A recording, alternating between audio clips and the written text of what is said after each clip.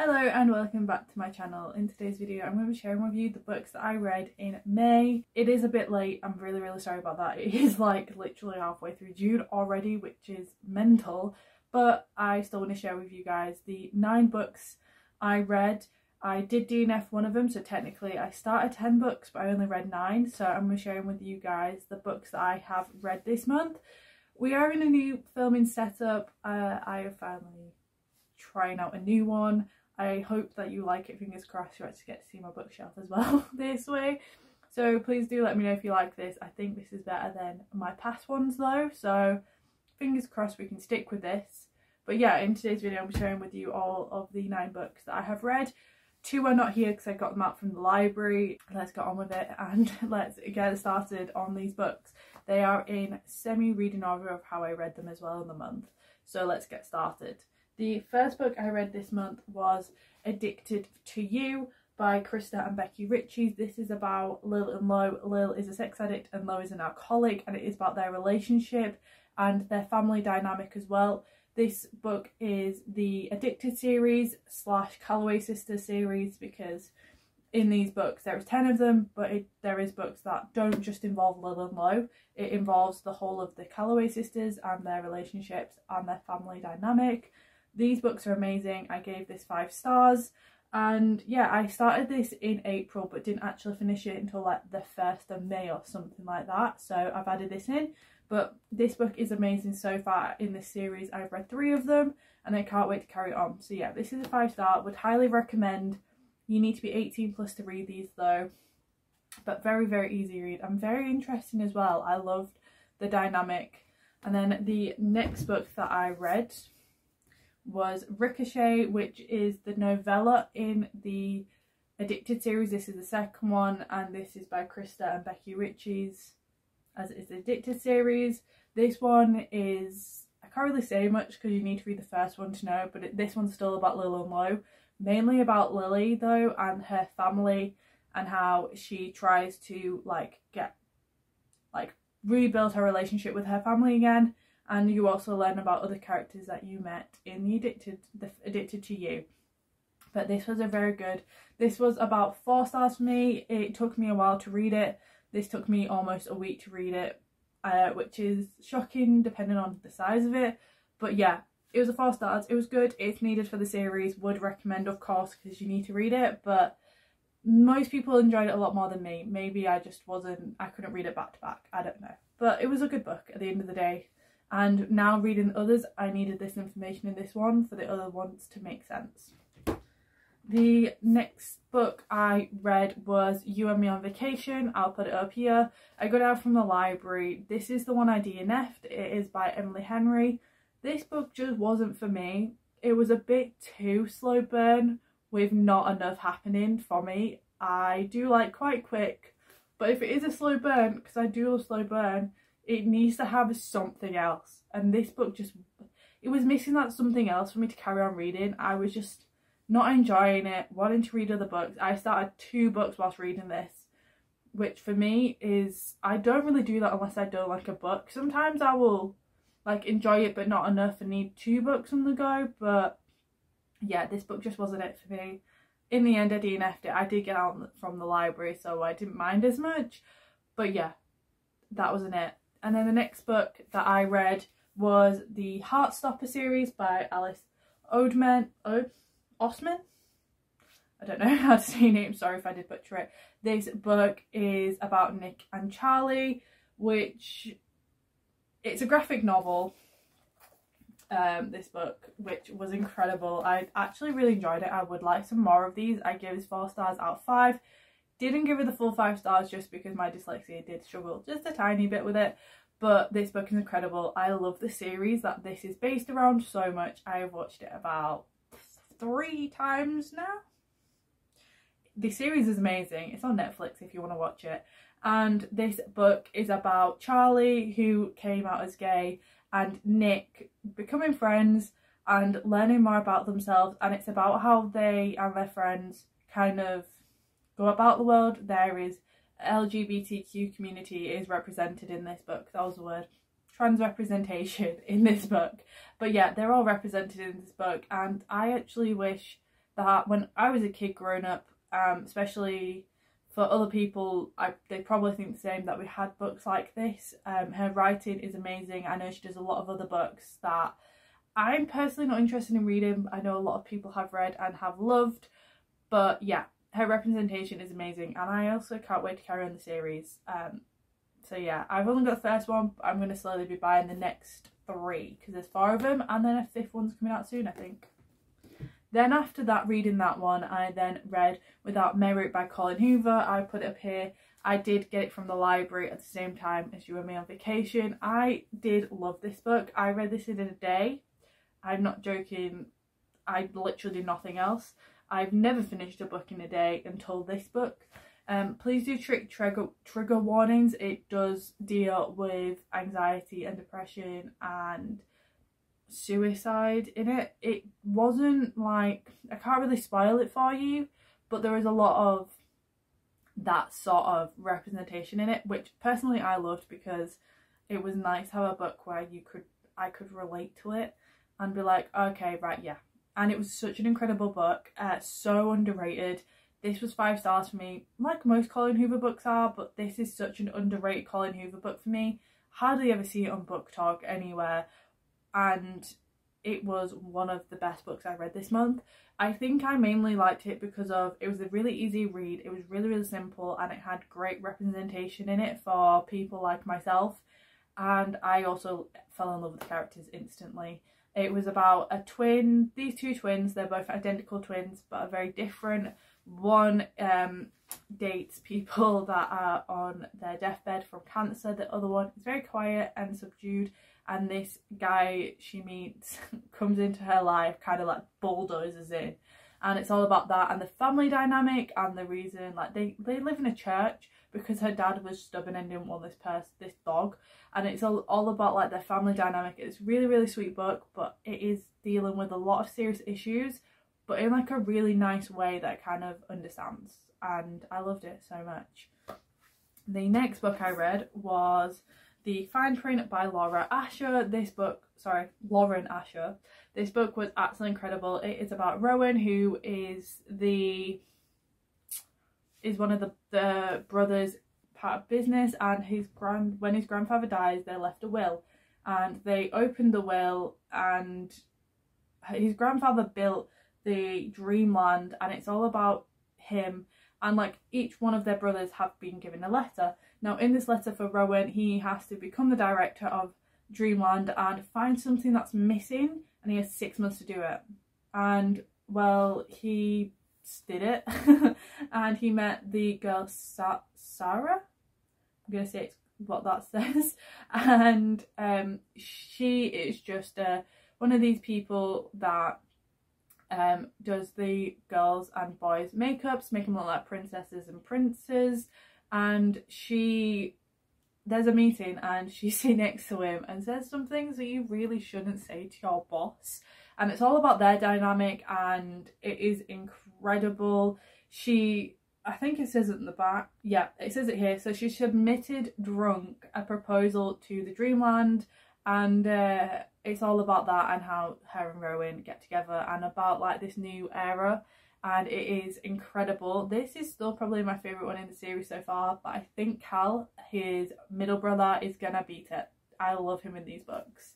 Then the next book I read, sorry, this was a five star read for me as well. Then the next book that I read in May was Terms and Conditions by Lauren Asher. This is the second one in the series. This is about Declan and Iris. Declan is trying to, letters says that he needs to marry and have kids before he can become the CEO of the grandfather's business. So far, his father is in it, and his father is not the nicest human being. He's quite verbally abusive, which is really sad to see, and it's about their dynamic. And he, in the end, Iris, his assistant, has to come in and basically marry him because he pisses off all of the girls.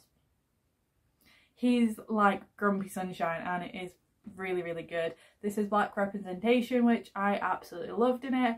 And my god i love declan. It's grumpy sunshine to a t this book and you learn a bit about Cal as well because Cal is Iris's best friend in this which I loved because I was like we're getting to know Cal a bit more before the books even come out the third one. And she basically has to marry Declan and it's about their relationship after they're married and how um what he does and all of that jazz is incredible. These books the dreamland billionaire books by lauren asher are incredible. I read both of them basically. I read this one in 24 hours and the other one in two days. Like they're incredible books. And i cannot wait for the next one. I do want more lauren asher books. They do sound good. The next series I want to get is a Dirty Air series, but my friend says they're kind of repetitive if you read them one after another. So I'm a bit nervous to read, but they also sound really good. So I cannot wait. But yeah, I would recommend the Billionaire series if you're over 18. I think all of these books, apart from Heartstopper, are over 18 books, which you can tell what books I've been reading. But yeah, it was incredible, this book. Um, highly, highly recommend. Most people like this prefer this book than Rowan's book. Um, personally, I think I just prefer Rowan over Declan, but Declan, I think they're pretty equal to be honest. The next book that I read was Archer's Voice. This is by Mia Shedin. I don't know say that. And this is, oh, this book was so good. It is about Archer who has some family dealings when he was a kid. You do learn about them quite early on and basically he can't speak. He can still hear, but he just can't speak, and he's been locked up in this room. And Bree comes along into this small town after dealing with some quite horrific, very horrific things that have happened to her. She comes to a small town to try and just relax and get away from it all. And she is the only person who wants to actually get to know Archer in this small town. Everyone's known him since being a kid because they've all lived there and they all know about his family dynamic when he was growing up. Uh, but no one goes to help him. Bree comes along and Bree's like so like intrigued and she gets to know him and it's all about their relationship and Archer like getting back into the world and Bree and it is incredible. They both deal with some quite serious issues so maybe trick trigger warnings but I loved the way they kind of fought through it together and together they helped each other. It's an incredible book and it oh, I loved it so much. I think I gave this about four stars. I didn't give it I can't remember if it was like 4.5 or something like that. It was an incredible book though. Um I forgot to mention like I do half the time, but um the fine print and terms and conditions were both 4.75. It took me a while to get back into giving books five stars after reading um, Exodus and like the Ravenhood series, so that's why they're not full five stars. But to be honest, I would say they're five stars anyway. Um, maybe I would give out five stars too flippantly. I don't know. But yeah, they're all amazing books. I've had such amazing time recently, like reading just incredible books. A lot of the books I've actually given five stars recently. Don't know if I'm too flippant with five stars or what, I don't know. Um, the next book that I read in May was Punk 57 by Penelope Douglas. I did actually read this in my Kindle and I loved it that much that I bought it in paperback because I want to reread it. It was an incredible read. You can get this on Prime Reading for no, it's free to read. And this is about Misha and Ren. They became pen pals. I can't remember what grade it is because it's not like a British year. Um, but they became pen pals and they started writing letters to each other about everything. They would argue over iPhone or Android and pizza, what's the best, like takeout pizza, etc. And they finally, there was one rule where they weren't allowed to meet and that rule accidentally got broken and it's all about their dynamic and whether or not like Misha has a goal and he is gone to this school and yeah he meets her but though their relationship is very rocky. Like he she doesn't know it's Misha. He's under a false name but Misha knows it's her.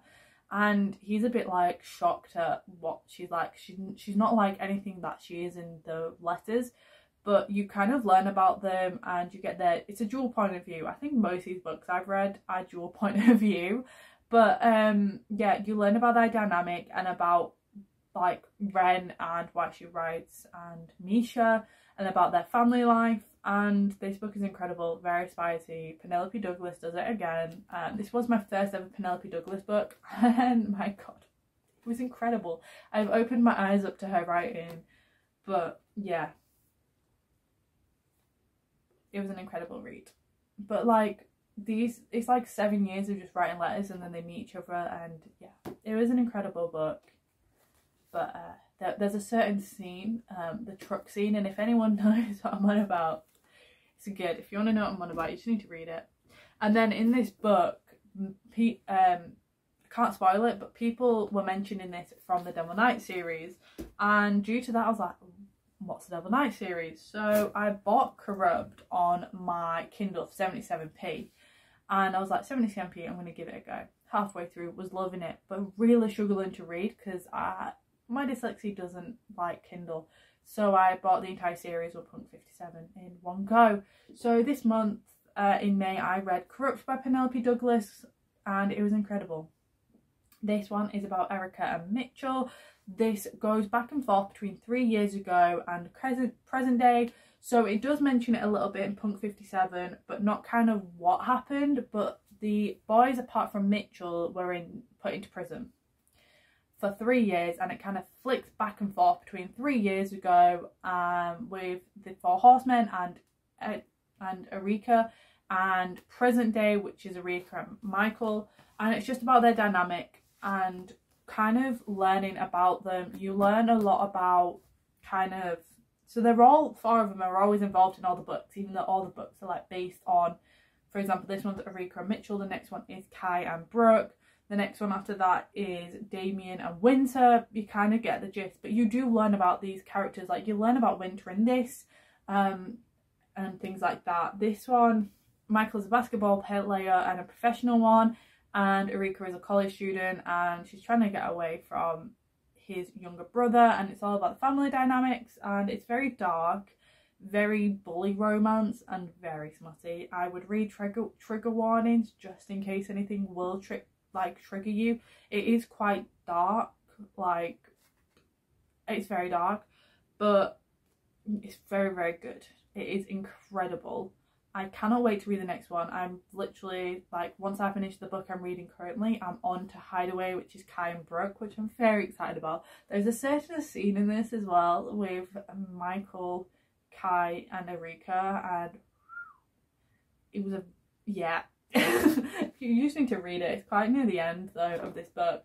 But yeah, this was incredible. She Erika has always noticed Michael and always wanted Michael, even though everyone expects her to be with his younger brother. And Michael's always wanted her, but never thought he was good enough. And it's all about their relationship, and it flicks back and forward, like I said. And it was just an incredible read. Like, I don't know what it is. Maybe I just love the Four Horsemen and Misha, to be honest. So all of these books are incredible to me. But yeah, it was an incredible read, like incredible. So they're all the books that I actually did read this month. It is a large pile of books. Um, apparently every month I just keep building up the amount of books I'm reading, which is kind of mental. Because uh, I started off reading again about a year and a bit ago. And yeah, the first book I read like when I first started getting back into reading took me like two months to read. So it's kind of mental. I've read like nine books, part way through 10 this month. But yeah, they were all the books I read. It is a big pile of books, but I really do hope that these reviews helped. I would recommend every single one of them. All of them, you have to be 18 plus, apart from Heartstopper. That's the only one you can read if you're not which kind of shows the books I am reading recently. I'm not really reading any YA books. I'm going to try and bring a few with me when I go away. So when I do that video of me packing up all my books, you will see some YA books. But to be honest, the books I'm interested in are adult books. But I am going to try and vary out for you guys so I can give other recommendations. But yeah, these were all the books. Would highly recommend every single one of them. They were incredible. Basically, all of these books nearly were five star reads. I think like two of two weren't, and that was Ricochet and Heartstopper. The rest of them were basically five stars. So that kind of shows the the amount of level of books I'm reading. If most of them are five stars, it's kind of mental. But yeah, I would recommend each and every one of you to read these. with Punk 57 and Corrupt, the Devil Night series, and the Addicted series. They are very expensive to buy. So I would probably recommend to try them first on Kindle, see if you like them. And then if you do, I'd recommend either to buy them if you want them in physical form or just keep them on Kindle. Um, I started buying them due to the fact of my dyslexia and Kindle is not the way for me. Um, but I'm going to keep trying with Kindle because it is 10 times cheaper. But yeah, uh, there are all the books I read. If you did like this video, please do give it a thumbs up. Comment down below which books you have read this month and whether or not you like them, whether or not you recommend them please do give me some recommendations that would be ever so helpful and please do click the subscribe button and notification bell to be notified every time I do upload. I think my plan is to try and upload on like a Wednesday and maybe a Saturday or a Sunday. I don't know yet. I'm going to try and get back on track but I'm going away in about two weeks so there will be some going away vlogs that I'll be vlogging what I'm doing when I'm away. There'll be lots of reading vlogs. There'll be lots of summer content as you can see here like that this collection of books is quite summery. So there'll be a few fair few books on here. So yeah i hope that you do like this video and i will see you guys next time in my next video